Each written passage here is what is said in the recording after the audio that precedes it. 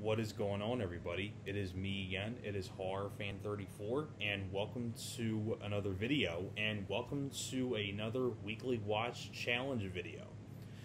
Now, like I said before, these are the weekly watch challenges that my me and my good buddy Rob over at Movie Review Time, because he came up with the idea of doing this per week, and uh, we, we we do like different themes per week, and this is the one that I came up with yet again and want to give a good shout out to my buddy Rob. Uh, wanted to thank him once again for having me participate in this. This has been a lot of fun, and also too, um, I I really can't wait to see like whatever ideas that he'll do in the future. Well, he actually does have an idea coming up, and I'm going to save that because uh, I think I think he'll probably announce it next week because he has an idea that we're gonna he came up with as well. But I'll let him uh, keep that for a secret for now, and he'll tell you next week. Um, but going on to this week, uh, I decided to do, we decided to do it that. I came up with the idea of doing Sports Week. Since, you know, football is just, you know, kicking off and things like that, and baseball is winding down to the playoffs. I figured, you know, why not do some sports movies? And like I said, this could be any kind of like, you know, sports movie. It could be anything baseball, golf, and soccer, and football, and basketball. Like, it could be hockey, could be anything that you like for sports.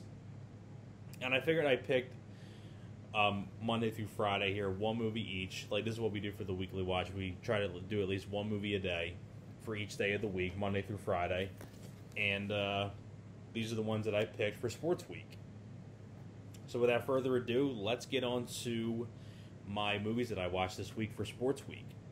So on Monday, I had to I had to kick it off with this one. Major League, easily my favorite baseball movie. Uh, very entertaining movie, very funny movie, great cast.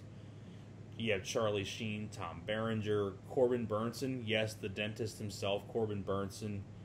You also have, you know, James Gammon, Rene Russo, directed by uh, David S. Ward. Uh, just a really fun highly entertaining movie. Of course, Wesley Snipes is one of the other baseball players as Willie Mays Hayes, who always steals the bases and he collects all the bases that he steals and things like that. It's a very highly entertaining movie. Definitely one of the best comedies out there, in my opinion, period. Not just sports movies, but best comedies out there. And definitely one of the best like baseball movies and definitely one of the best sports films in general. Major League is just highly entertaining. Don't care for the sequels too much, but the first one is definitely the best, and it's the best one because it's R rated. But the cast and all that stuff is excellent in Major League. So that was Monday. Now getting on to Tuesday, I decided to watch my favorite sports film on Tuesday, and that is Any Given Sunday. Yes, this is my favorite sports film of all time. Uh, as much as I love baseball and everything, this has my, always been my favorite sports film, mainly because of this cast. And it's an excellent football movie where you have just a great cast: Al Pacino, Dennis Quaid, Jamie Foxx, Cameron Diaz, James Woods, LL Cool J, uh, Matthew Modine, Charlton Heston, Ann-Margret, Aaron Eckhart, John C. McGinley, Lauren Holly. Uh, you also you also have, uh, and a little role, James Karen from Return of the Living Dead has a small role in this. A lot of great people in this cast. And you know, Al Pacino is a football coach for the Miami Sharks, Tony D'Amato, and he his and his team's been losing for a while. He has his old quarterback who's been he's been very loyal to, played by Dennis Quaid, and Jamie Foxx comes in as the new quarterback and he's like getting cocky and getting with the you know getting the fame's getting to his head and and you know it's just a lot of really great ca- cast of characters. James Woods plays the team doctor who is just a slimy character. Cameron Diaz is the owner of the team. Uh,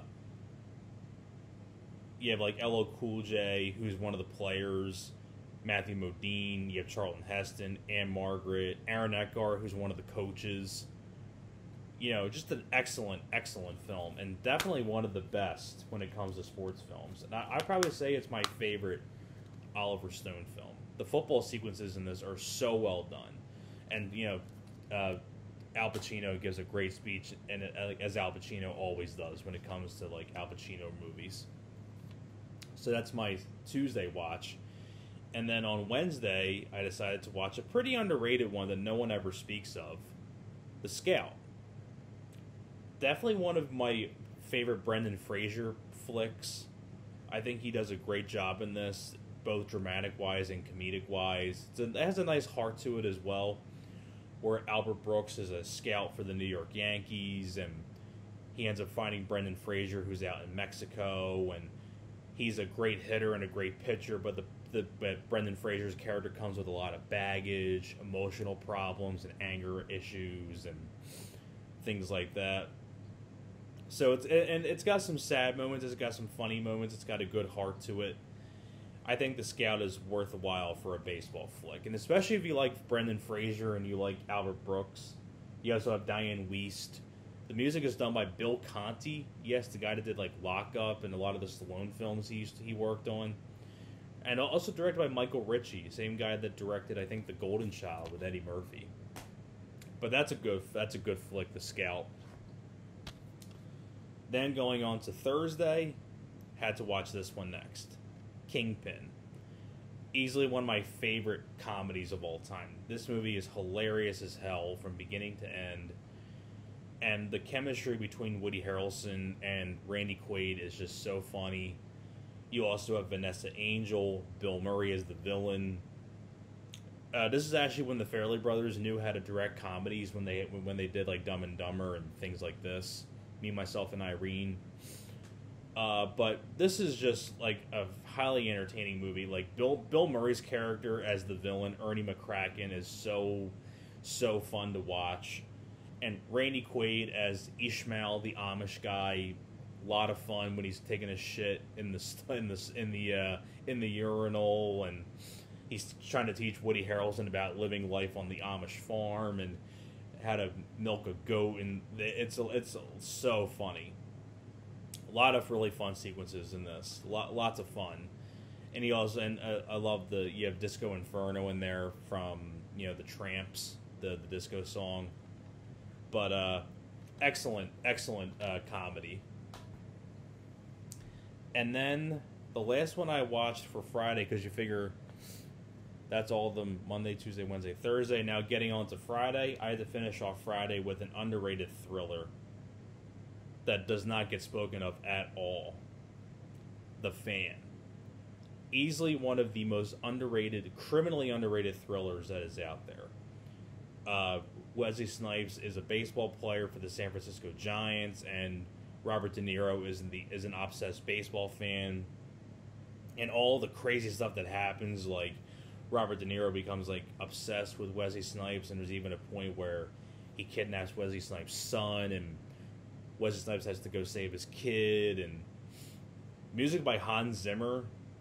You also have people like uh, John Leguizamo, Benicio del Toro, Ellen Barkin. You also have, uh, in, a, in a small role, Jack Black has a tiny, quick appearance as a radio technician. And some pretty cool appearances by a couple baseball players. John Kruk, who played for the Phillies in the 90s, he's in here as one of the. He actually gets killed at the very end by Robert De Niro's character. Really great final showdown too between De Niro and Snipes in the rain on on the baseball field. Oh, and the disc actually fell out. There we go. Did not expect that to happen. Let me just make sure it's in there safely. But easily, like I say, one of De Niro's most underrated performances, and definitely one of Wesley's most underrated f- roles as well if you like thrillers and all that stuff, you you got you got to check out The Fan, directed by Tony Scott. And so that is pretty much it. That's all. That's the films that I watched this week. So on Monday, Major League. Tuesday, any given Sunday. Wednesday, The Scout. Thursday, Kingpin, and Friday, The Fan. So that's pretty much it. And I just want to let you guys know next week, me and Rob will be doing 80s Action Week, which is an, another theme that I came up with. So basically, for that week, we will be we'll be talking about 80s action films. So uh, definitely stay tuned for that next week. So, hope you guys enjoyed this. Thank you very much for watching, and I will see you guys next time.